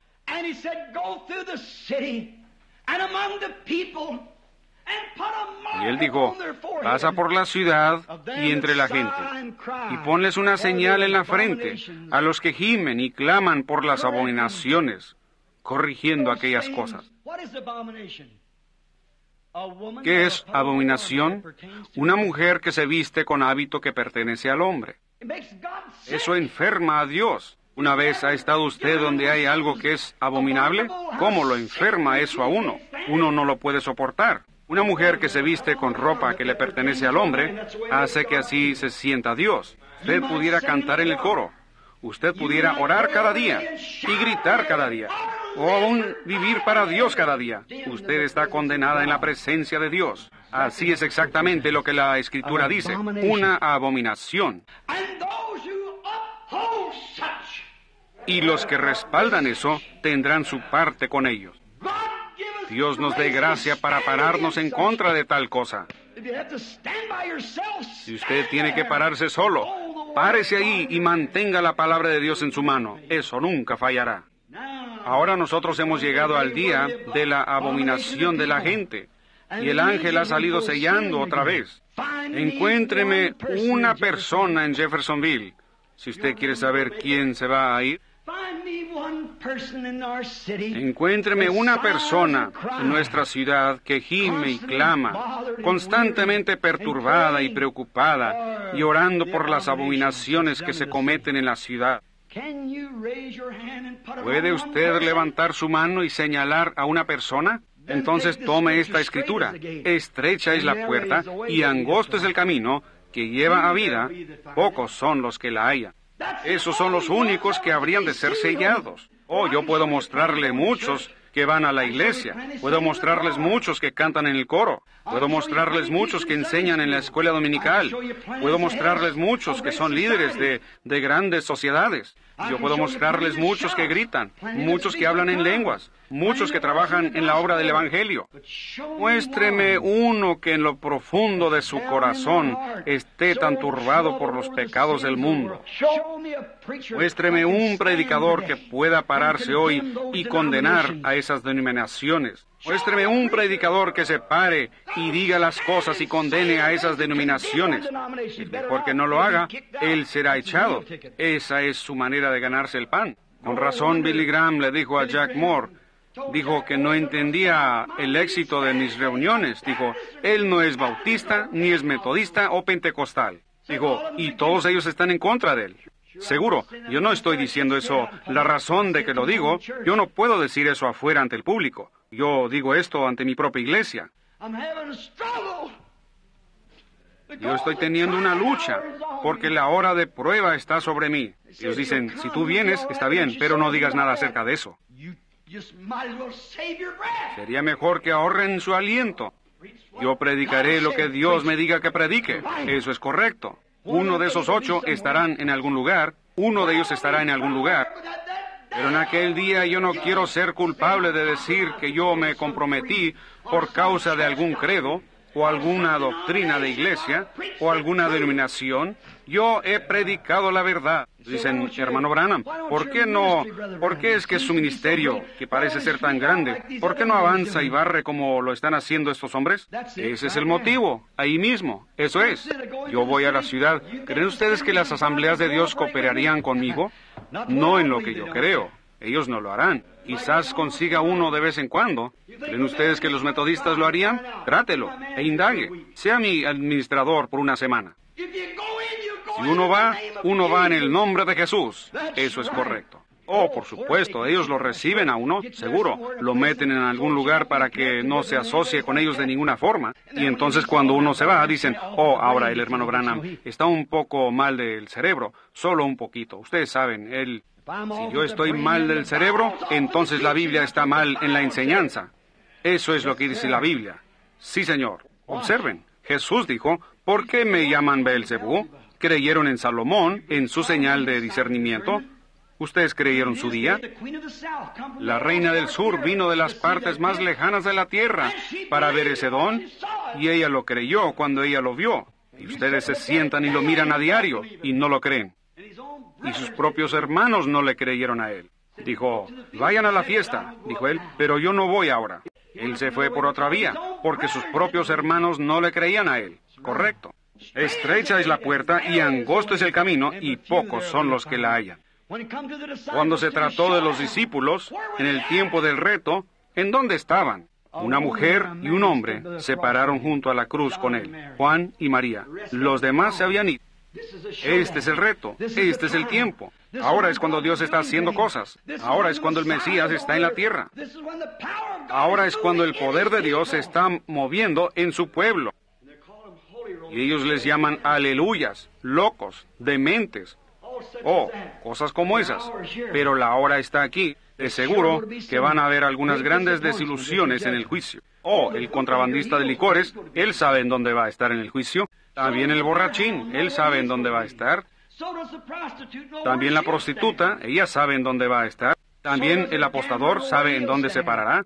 Y el borracho sabe dónde se parará. Él no va a estar desilusionado. Pero en donde habrá desilusión será con aquellos que pensaron que estaban bien. Ahí es donde estará la decepción. Cuando lleguen allá dirán, seguro, nosotros echamos demonios en tu nombre. Nosotros somos predicadores. Nosotros pertenecemos a ciertas, ciertas iglesias. Hicimos grandes milagros. Oh, nosotros predicamos. Pues yo he sido un, yo he sido un mayordomo en la iglesia. Yo he sido un obispo. Yo he sido este. Apartaos de mí, hacedores de maldad. Yo nunca os he conocido. Ahí lo tienen. Esa es la desilusión. Él dijo, los hijos de sus hijos llegarán y se sentarán en el reino. Dirán, nosotros tenemos derecho de estar aquí. Ellos serán echados en la oscuridad, donde será el lloro y el llanto y el crujir de dientes. Estrecha es la puerta, angosto es el camino que lleva a la vida. Pocos son los que la hallan. A ustedes, mi pueblo amado, en esta mañana escuchen esto. Yo nunca inventé esto. Yo soy responsable por decirlo. Solo por eso soy responsable. Y si yo nunca predico otro sermón en mi vida, esa es la verdad. Muy poca gente será la que va a ser salva. Solo recuerden eso. Solo unos pocos. Usted sea uno de ellos. ¿Quiénes son, hermano Branham? Yo no sé. Nadie más sabe. Nosotros nos ocupamos de nuestra propia salvación con temor y temblor. Pero usted alínese con Dios. Si su corazón no va en ritmo con esa Biblia, entonces hay algo mal. Hay algo mal. No importa lo que dice su iglesia, usted no puede entrar por eso. Usted tiene que entrar por lo que Dios dice. Este es el libro por el cual usted será juzgado, la Biblia. Quédese con ella. Oh, usted dice, pues yo he sido bautizado en el nombre del Señor Jesús. Eso es correcto, eso es la Biblia. Pero si esa vida no lo sigue, entonces no le hizo mucho bien el ser bautizado. Usted dice, bueno, yo he recibido el Espíritu Santo. Eso está bien. Eso es lo que usted debería de haber hecho. Pero si la vida no está allí, recuerden, la hierba recibe el mismo poder que cae sobre el trigo para hacerlo crecer. También hace gritar a la hierba. La hierbita se para y está tan contenta como el trigo. Eso es correcto. Vive por la misma vida. Un pecador puede quedarse en la presencia de Dios, cantar la victoria y vivir como un cristiano. Pero si no hay algo diferente en el corazón, él podría tener el mismo poder para echar fuera malos espíritus. Jesús lo dijo. Puede predicar el Evangelio tan bien como cualquier otro predicador. Eso es exactamente lo que dijo Jesús. La Biblia lo enseña. Sí, Señor. Aunque yo hablare en lenguas de hombres y de ángeles, aunque yo diera mi cuerpo para ser quemado como sacrificio, si yo diera todos mis bienes para alimentar a los pobres, si yo, si yo tuviera fe para mover montañas, si yo hiciera todas estas cosas, si yo predicare en su nombre, si yo echare demonios en su nombre, dijo él, nada soy, así que él pudiera hacerlo y ser nada. ¿Captan la idea? Lo que hay que hacer es ser cristiano de corazón. Ahora entre por la puerta estrecha, porque ancho es el camino que lleva a destrucción. Y millones de millones en esta generación de creyentes se irán por ahí, porque estrecha es la puerta y angosto es el camino. Es solamente usted y Cristo. Angosto es el camino que lleva a la vida, y pocos son los que la hallan. Ahora, esas son las palabras de nuestro Señor. Oh, hermano, ¿qué estaba haciendo él? Estaba parado ahí discerniendo sus pensamientos. Y él dijo, Él es Belzebú. Bueno, ¿cómo puede él ser Dios? Él es un hombre. ¿De dónde vino esta sabiduría? Dijeron ellos, en su propia ciudad. Cuando uno entra aquí a la ciudad, parece que yo no digo esto para hacerlos menos a ustedes, ustedes son cristianos, ustedes me aman. Uno entra aquí en la ciudad y parece que el poder de Satanás lo tumba. Este lugar está condenado, esta ciudad está condenada. ¿Qué fue lo que dijo Billy Graham cuando entró en Louisville? Él dijo que era el lugar más apoderado de demonios que él había visto en su vida. Lo anunciaron en el periódico. Dijo, uno puede sentir la opresión del diablo. Por supuesto, yo lo sentiría. ¿Por qué? Esta es mi propia casa. Cuando Jesús regresó a su propia casa, él dijo, él no pudo hacer muchas obras poderosas debido a su incredulidad. Dijo, un profeta tiene honra, un predicador, excepto en su propia, en su propia tierra, entre su propia gente.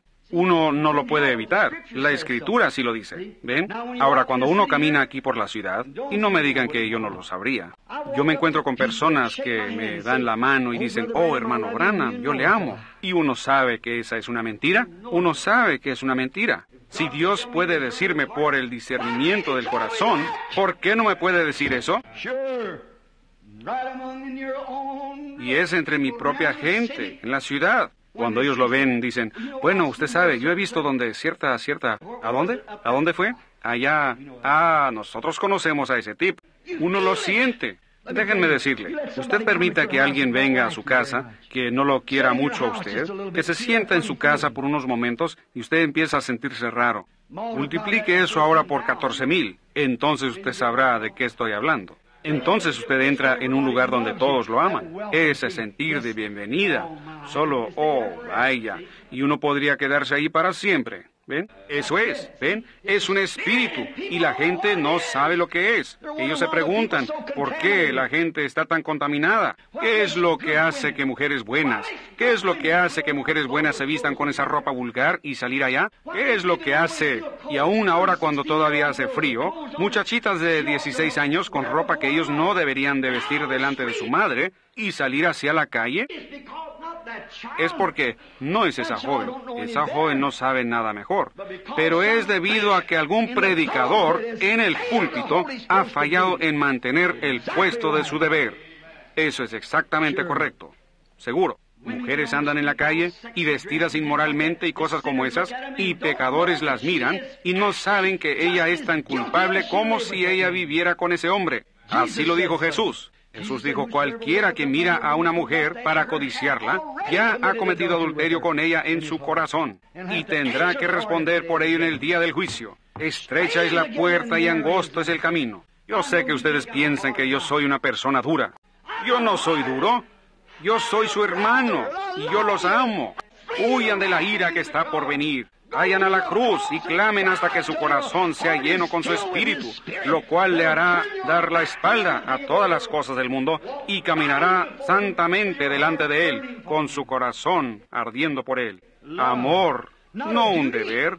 Cristo no es un deber servir a Cristo, es el amor el que sirve a Cristo. Eso lo presiona, lo constriñe a usted hasta que toda pulsación de su vida está en ritmo con Él. Así es cuando usted ve el pecado. Y Él lloró sobre la tierra. Dios se entristeció en los días de Noé, cuando él vio los corazones. Y Jesús se sentó sobre el monte y dijo, Jerusalén, Jerusalén, cuántas veces quise juntarte, pero tu hora ha llegado y tu casa ha sido desolada. Así será en la venida del Hijo de Dios. El corazón del verdadero creyente está quebrantado. Él ve que ahora mismo debería de haber un avivamiento recorriendo esta tierra. ¿Cómo puede ser por medio de un montón de ilegítimos? ¿Cómo puede ser cuando ellos para empezar están condenados? El reino de Dios es como un hombre que tiró una red en el mar y cuando él la sacó tenía tortugas, tortugas, culebras, ranas y algunos peces. A él no le tocaba decidir, él solo las lanzaba a la orilla. Eso es lo que hace el Evangelio. Eso es lo que hace Billy Graham, Oral Roberts, yo y todos los demás predicadores que estamos predicando el Evangelio. Lanzamos, sacamos, ahí están, Señor. Pero ¿qué es lo que estamos haciendo cada vez? Hallamos que antes de que podamos volver, ellos ya se regresaron al agua. ¿Qué es? Para empezar, ya era una tortuga. Eso no lo cambió, el ser atrapado en la red del Evangelio. Era una tortuga para empezar. Era una tortuga para empezar. Era una culebra para empezar. Él era un hipócrita antes de que viniera a la iglesia. Él no tenía ningún deseo de dejar su bebida y apostar y fumar y mentir y robar. Él solo llegó porque tenía miedo al infierno. Usted mismo se hace aún más candidato para el infierno cuando hace eso. Eso es verdad. Estrecha es la puerta y angosto es el camino, y pocos son los que la hallan. Señor, oh, escudriñame, Señor. Prueba mi caso ahora mismo, Señor. No permitas que yo tenga que venir ante ti en el juicio después de haber predicado de esta manera. Oh, si hay alguna cosa impura en mí, Señor, nosotros vemos el día en el que estamos viviendo, cuando hombres y mujeres están llegando a ser tan almidonados, están avergonzados. Tú dijiste en una ocasión, ni siquiera hay vergüenza entre las hijas de Sión. Su modestia había sido quitada de tal manera que ya ni siquiera se avergonzaban. Oh Señor, piénsenlo.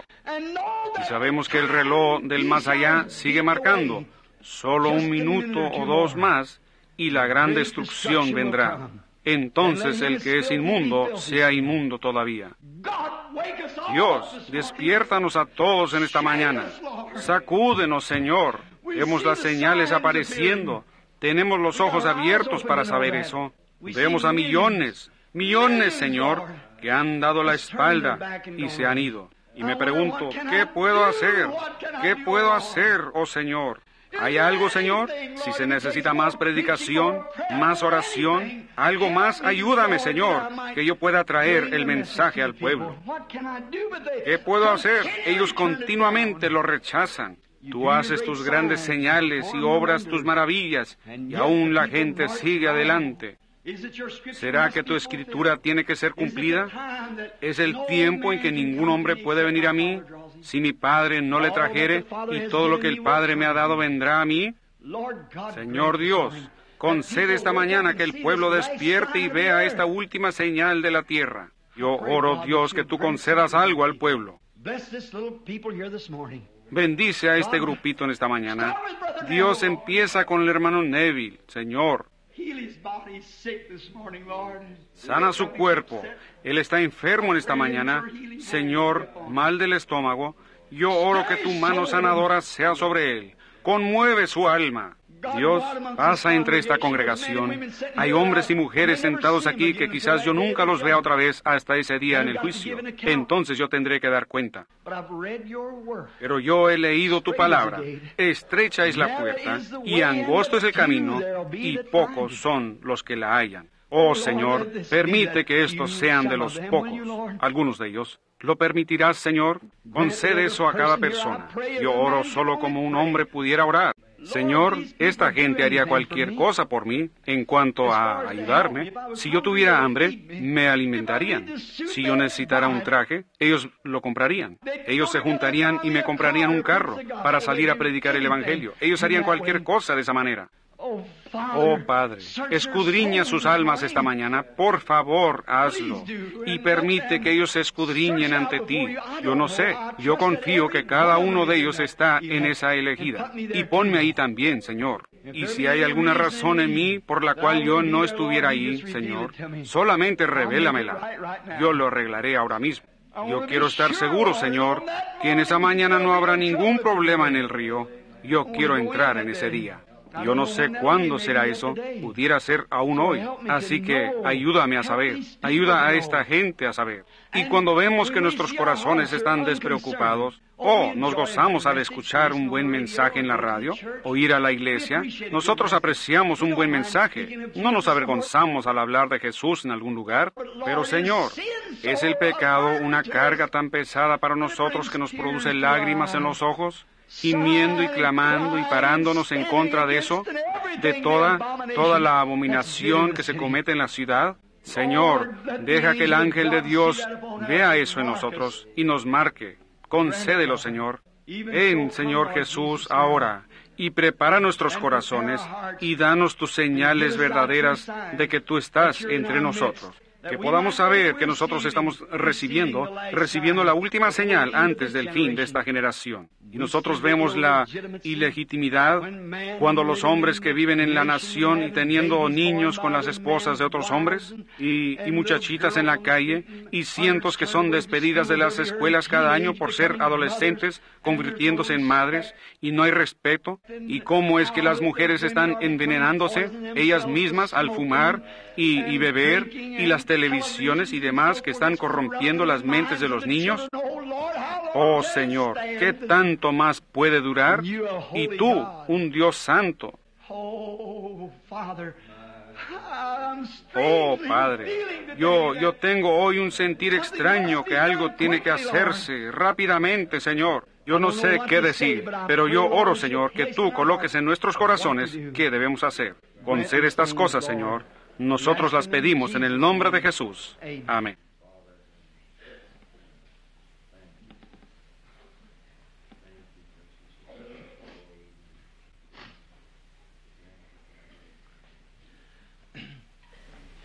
La hora está a la mano. Cada persona sensible que tiene razonamiento sabe que algo está por suceder. No hay una persona en este edificio que tiene su mente cabal que no sepa que este mundo no puede continuar bajo estas condiciones. Nosotros no podemos permanecer, amigos. No hay una cosa, como su pastor y su hermano, no hay ninguna cosa donde yo pueda guiarlos en esta mañana, sino a Jesucristo. No hay una cosa que yo sepa. Solo piensen en las cosas que han sido profetizadas que van a suceder antes de que el rapto acontezca.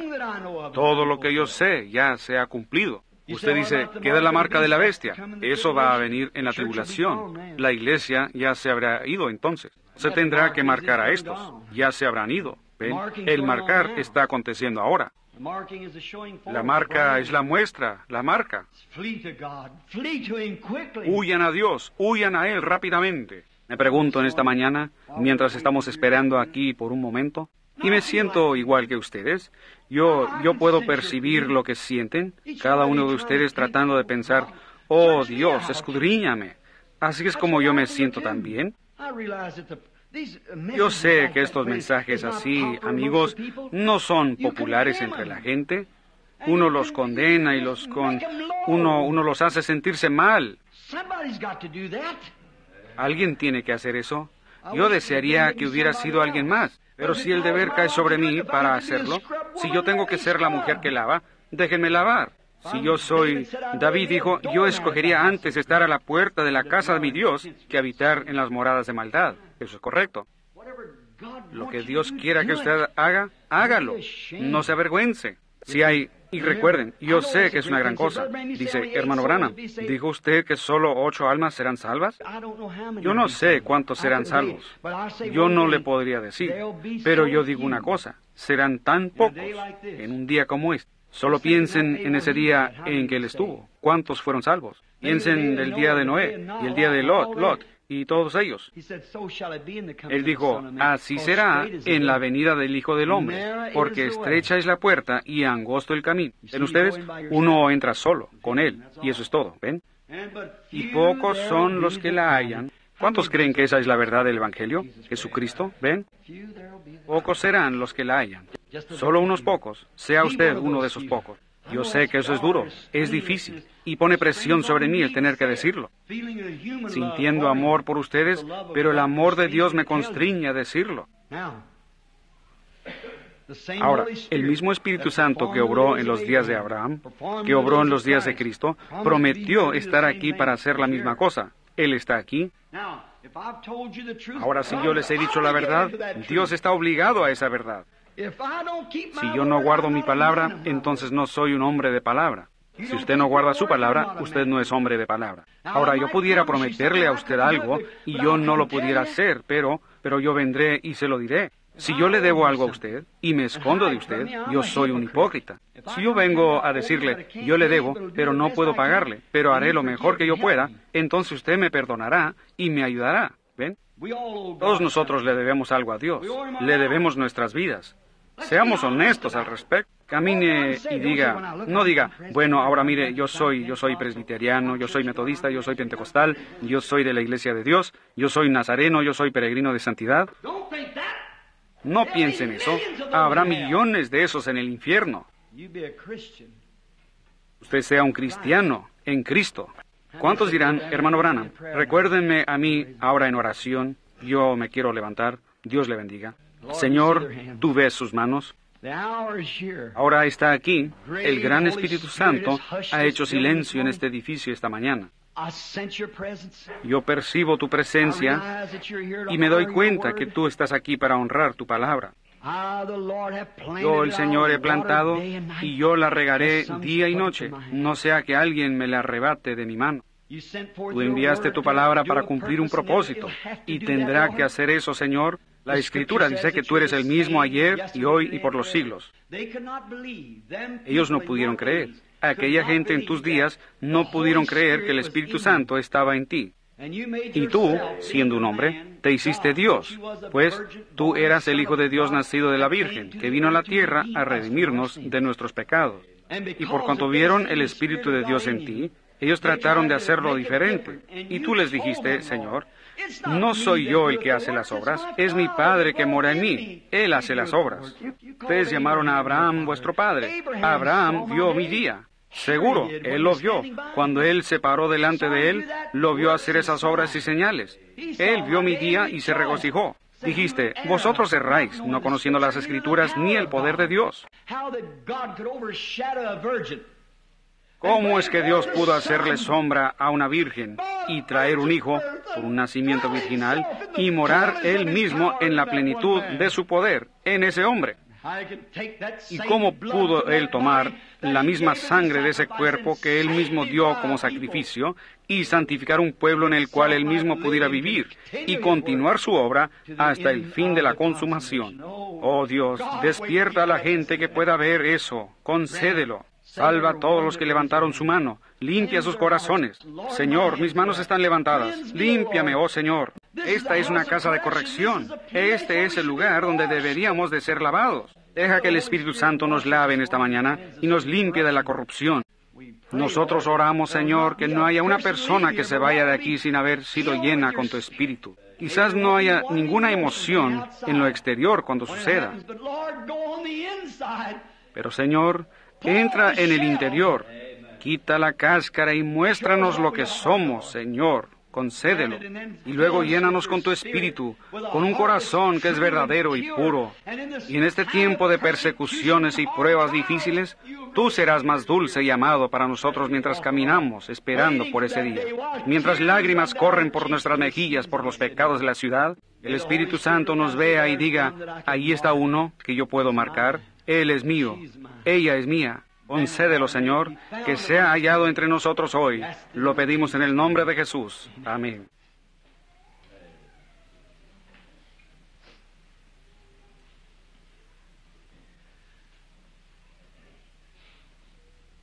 When I come to the river at the ending of day and the last sorrow have blown. There'll be somebody waiting that'll show me the way. I won't have to cross Jordan alone. I won't have to cross Jordan alone.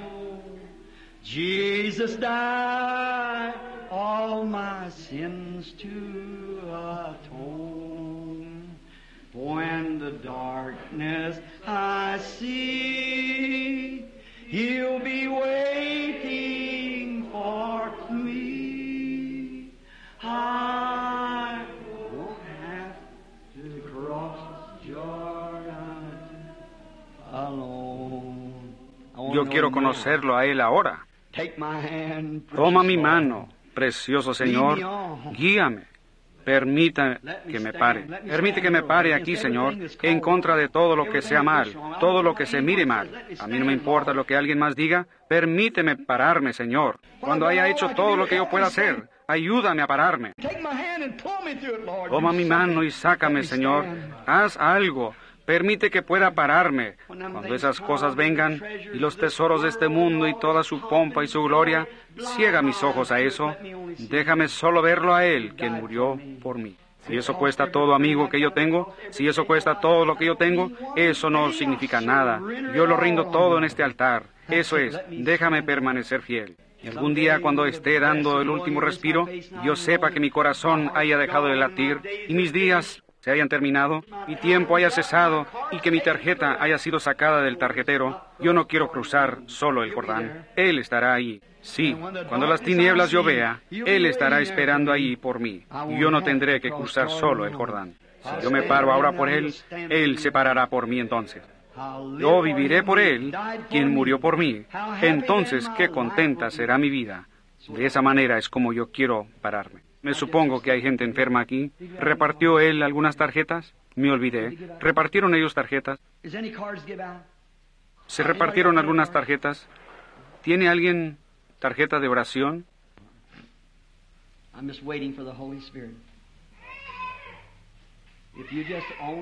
Solo estoy esperando por el Espíritu Santo.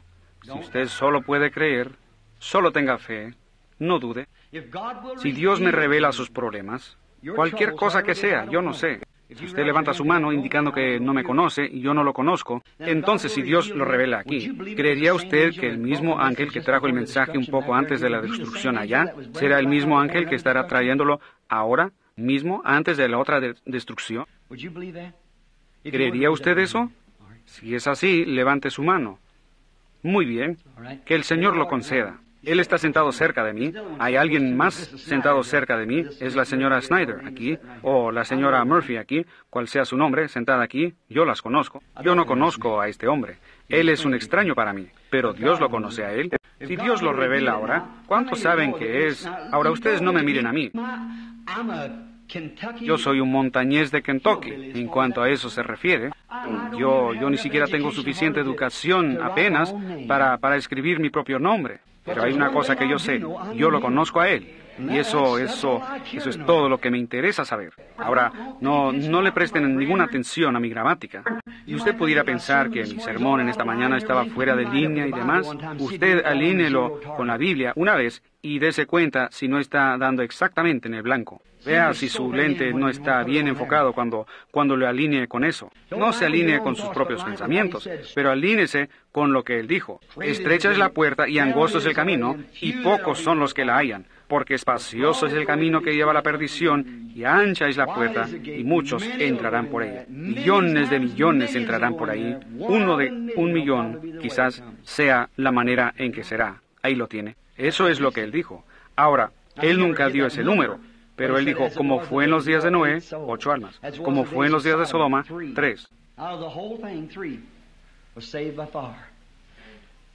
De todo aquello, tres fueron salvos por fuego. Así será. Ahora, si alguien es realmente espiritual, yo quiero que usted mire a este hombre sentado aquí. Él me está mirando con mucha atención. Levantó su mano. Yo no lo conozco a él. Yo nunca lo he visto. Yo no sé nada acerca de él. Él solo está sentado ahí mirándome. Pero ven, él está haciendo contacto. Él está orando. Ahora, eso es correcto. Ahora, si el Señor me dice, ese hombre está sentado a esa distancia de mí, y este es nuestro primer encuentro, y él está sentado allí, si el Señor me revela cuál es su cuál es su yo yo no podría sanarlo yo no yo no podría hacer eso porque Dios ya hizo eso pero eso aumentará su fe todos ven ahora él está aquí es el mismo espíritu y recuerden Jesús prometió esto antes del tiempo del fin siempre ha sido la última señal el otro día, Leo y yo estábamos sentados en la calle y algunos estábamos hablando. Y yo sigo sintiendo que viene un cambio. Viene un cambio. Cuando nosotros hablábamos de eso, no será un cambio en mi ministerio, porque no puede haber más, pero será un cambio en mí. Yo siempre he sido débil y he permitido que la gente me dirija y me guíe y me mande para acá y para allá. Si yo hubiera hecho algo que el Señor me dijo que hiciera hace tiempo, yo no estaría en el problema en el que estoy ahora.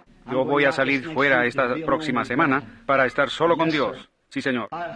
Yo, yo debo oír del cielo. Yo no quiero ser un débil. Yo quiero pararme en mis propias convicciones. El hombre, eso sigue regresando a él. Él está ahí sentado porque ese hombre está creyendo. Él realmente está creyendo. Yo miro a la audiencia por donde quiera y sigue viniendo otra vez al hombre. Él tiene necesidad, él tiene una carga, pero él tiene una carga por alguien más. Eso es correcto. Usted está orando por alguien más. Usted tiene a alguien en su corazón. Eso es correcto, ¿no es así? Es un amigo. Si yo le digo qué es lo que le pasa a su amigo, ¿creerá usted que yo soy siervo de Dios? Es un alcohólico. Eso es correcto. Si eso es correcto, levante su mano. ¿Cree usted? Alguien por aquí levantó su mano. Una mujer. Aquí atrás. Alguien. Sí. Sí. ¿No me conoce usted? ¿Soy un extraño para todos ustedes? Yo no la conozco, pero Dios la conoce. ¿Cree usted eso? Si Dios me revela lo que está en su corazón, creerá que yo soy su siervo. Señora, por lo que usted está perturbada es por este bebé. Eso es correcto. Y ese bebé tiene eczema en su cara. El doctor no puede hacer nada al respecto. Usted es una extraña aquí. Usted y su amado sentado ahí. ¿Cree usted que Dios puede decirme quién es usted y de dónde viene? ¿Lo cree? ¿Aceptaría usted la sanidad del bebé si él lo hiciera? Muy bien. Usted puede regresar a Somerset, Kentucky, de donde usted viene, y crea que él será sano. El eczema dejará al bebé. Si usted puede creer.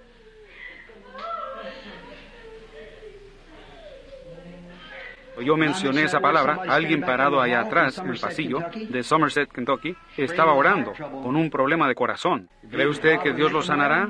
Si usted lo cree con todo su corazón, y cree que Dios lo sanará y lo pondrá bien. Aquí, aquí está. Yo creo que la mano de alguien se levantó por aquí, por aquí. ¿Una señora? Sí, yo he visto su mano. ¿Soy yo un extraño para usted, señora? No la conozco. Nunca nos hemos conocido. ¿Cree usted que yo soy su siervo? ¿Es así? Usted tiene una carga en su corazón o algo. ¿Cree usted que Dios puede revelármelo? ¿Cree usted que es el mismo espíritu que estaba en Cristo? ¿Su esposo sentado ahí? ¿Cree él la misma cosa también? ¿Creerá usted la misma cosa? Es acerca de su muchachita sentada al lado de usted. Eso es correcto. Ella tiene cáncer. Pero ¿cree usted que Dios la va a sanar? Si es así, levante su mano. Muy bien. Ponga sus manos sobre la niña. Señor Jesús, en la presencia de tu Espíritu, yo condeno al diablo que está matando a la niña. Aplico por fe la sangre de Jesucristo entre ese asesino y la niña. Déjala vivir. Amén. Tenga fe en Dios. No dude. Si tú puedes creer, todas las cosas son posibles. Si pueden creer, todas las cosas son posibles. Correctamente. Alguien más allá atrás levantó su mano, en algún lugar. Usted, señora, allá atrás. ¿Cree usted que yo soy siervo de Dios? Yo no la conozco. Usted no me conoce. ¿Cree usted que Dios me puede revelar cuál es su problema? ¿Aceptaría usted a Jesús como su sanador o proveedor, sea lo que sea, sea lo que es? Entonces lo creerá usted. Muy bien. Entonces ese ataque de nervios que ha tenido, eso es lo que usted ha tenido. Si eso es correcto, póngase de pie. Si eso es correcto, solo para que la gente vea que eso es la verdad. Muy bien, eso la dejará ahora. Vaya a casa y sea sana. Dios le bendiga. Usted es de Kentucky también. Ajá, eso es correcto. La señora sentada a su lado es de Kentucky también. Ella lo es también. Yo no la conozco, ¿verdad? Pero yo puedo decirle, usted tiene algo mal en usted. Si yo puedo decirle qué es lo que está mal con usted, ¿usted aceptaría a Cristo como su sanador? Está en su cadera. Si eso es correcto, levante su mano muy en alto para que la gente la pueda ver. Muy bien, vaya a casa ahora. Eso la dejará. Su fe la sana.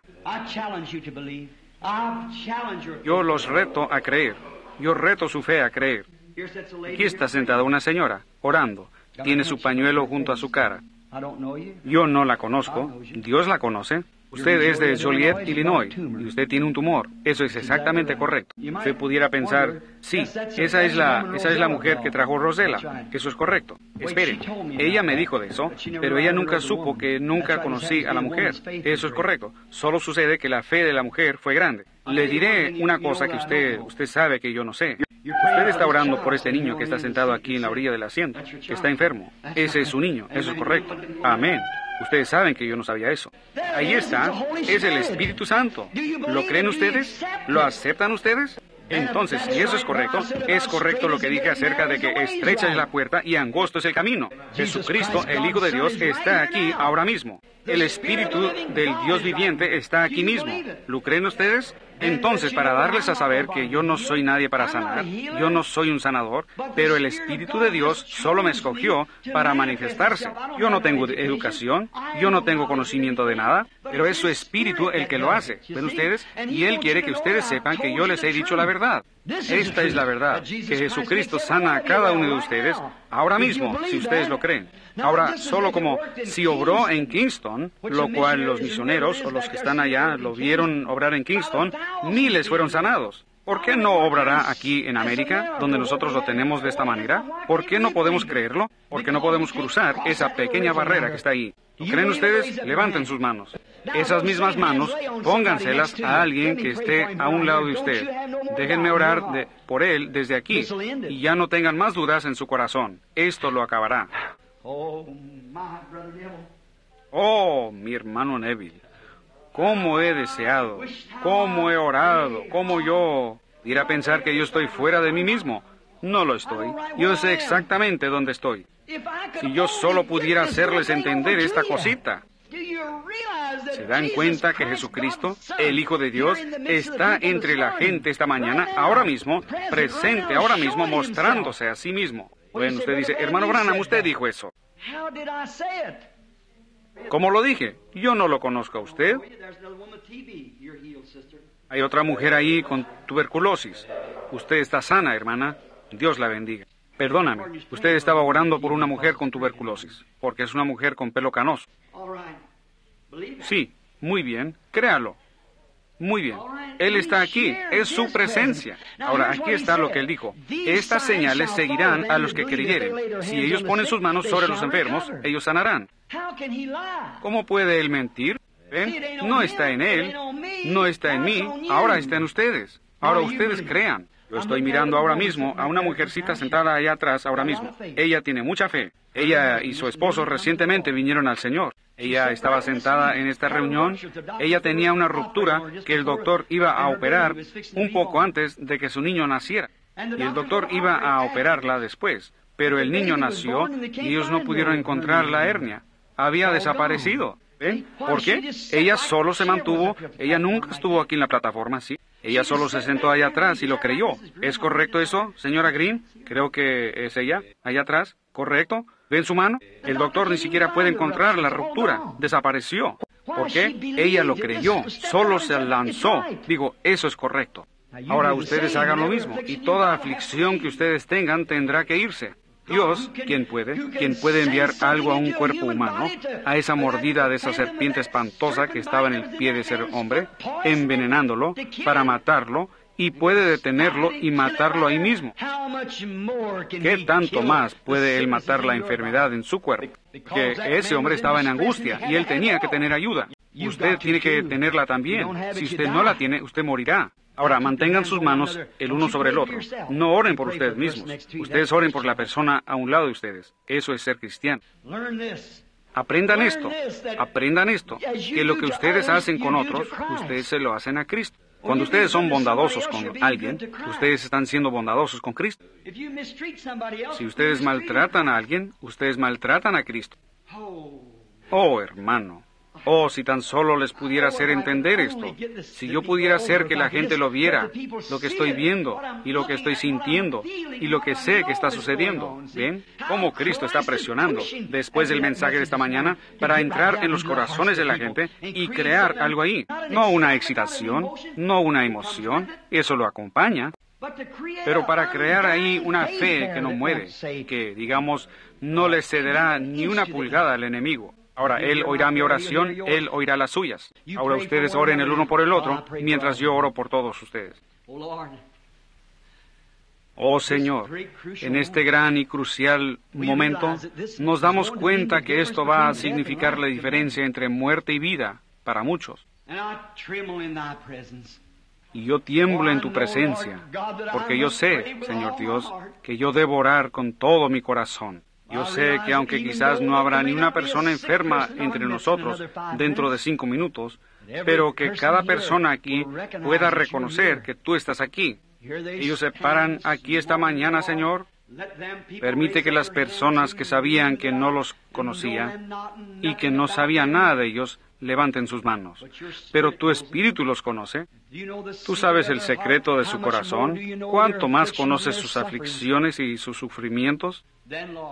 Entonces, Señor, que sea hoy, que sea aún ahora, que tu Espíritu toque sus cuerpos enfermos. Concédelo, Señor. Ellos están orando el uno por el otro. Luego, amado Dios, que el Espíritu Santo lo haga tan real para ellos que ellos nunca más lo duden. Y hay otra enfermedad, Señor, que es más grande que estas enfermedades físicas, y es la enfermedad espiritual. Que cada corazón sea abierto. Señor, ¿cómo puede ser que tú te paraste al lado de Abraham e hiciste esta misma cosa y le dijiste a Sara, quien estaba detrás de ti, dicen las escrituras, en la tienda ella se rió y le dijiste a ella? Y Abraham reconoció que ese era Elohim, el gran Dios. En unos cuantos minutos tú desapareciste de su vista. Y Señor, cuando Jesús se paró e hizo la misma cosa y dijo, llamáis a Abraham vuestro Padre y todavía decís que conocéis las escrituras. Dijo, vosotros erráis, no conociendo las escrituras ni el poder de Dios. Y ellos lo llamaron Belzebú. Pero tú prometiste que en los últimos días tú derramarías tu espíritu otra vez. El profeta dijo, en el tiempo del atardecer habrá luz. Y aquí estamos. Este mundo ilegítimo se está hundiendo en pecado como un hombre borracho tropezándose al llegar a casa de noche. Pronto explotará en pedazos, casi ni quedará ceniza volcánica de él. Y nosotros vemos el tiempo terminándose. Oh Dios, quita toda duda de nosotros. Muévenos a ese ciclo ahora mismo. Ven, Espíritu Santo, extiende tus grandes alas, mora sobre esta pequeña audiencia ahora mismo y que satures sus corazones. y que ellos sepan que tú estás en tu divina presencia. Ese eres tú. Yo soy el Señor quien sana todas tus enfermedades y que tu presencia haga algo en sus corazones que cause que ellos se vayan de aquí esta mañana creyendo con todo lo que está en ellos, que cada enfermo y cada persona afligida sea sanada. Porque como tu siervo, yo me paro y condeno todo diablo, condeno la enfermedad, condeno a Satanás. Tú has perdido y tú no eres más que un fanfarrón. Y te descubrimos en esta mañana en el nombre de Jesucristo. Y como su siervo, predicando su palabra y diciéndole a la gente la verdad, que se aliste y se alinee con la palabra de Dios, yo te condeno, Satanás, en el nombre de Jesucristo. Apártate de cada una de estas personas, quienes vienen de lejos y de cerca, para ser sanados. Tú sal de esta audiencia y de esta gente. Yo te conjuro por el Dios viviente. La Biblia dice, la oración ferviente del justo puede mucho. Muchos hombres justos han impuesto manos sobre los enfermos aquí esta mañana. Oh, Satanás, a ti te gustaría hacerles creer que era yo. Entonces tú les quitarías la gloria. Pero también es la fe de ellos en Dios. Ellos creen en Dios. Y tú te tendrás que mover por su fe. Así que emprende camino de aquí y vete afuera hacia la oscuridad a donde perteneces. Yo te condeno en el nombre de Jesucristo por la autoridad de la Biblia de Dios y mi comisión por un ángel. Ahora vete en el nombre de Jesucristo y que sean libres. Amén. ¿Creen ustedes con todo su corazón que están sanos? Levanten sus manos, digan, yo acepto ahora a Jesucristo como mi sanador. Todas las sombras se han desvanecido de mí. Yo ahora lo acepto en la plenitud de su poder, en la santidad de su presencia. Yo lo acepto a Él. My faith looks up to thee, Ah.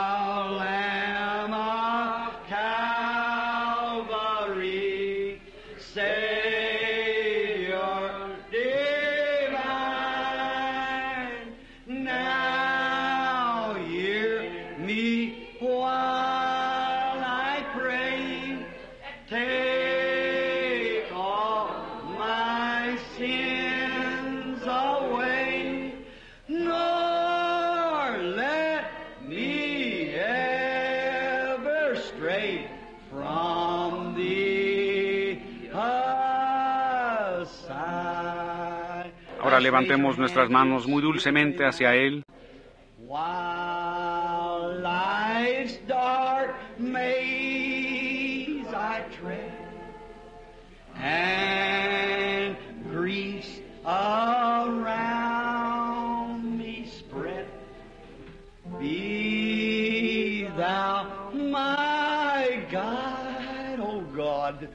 Be darkness turn today. Why sorrows, fears away, nor let me ever stray from thee